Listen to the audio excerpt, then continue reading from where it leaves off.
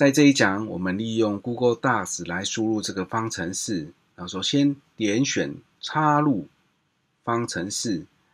这边有一个可以直接选的。不过我们今天用 LaTeX 语法来输入，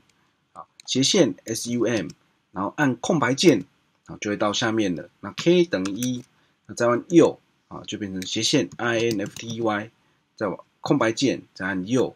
斜线 frac，先空白键。对，然后一，那接着是 k 次方，哦，就是那个次方符号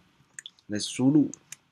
好，那接着斜线 frac 空白，好，那就是斜线拍，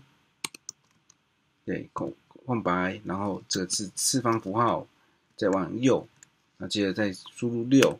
这样子整个式子就完成。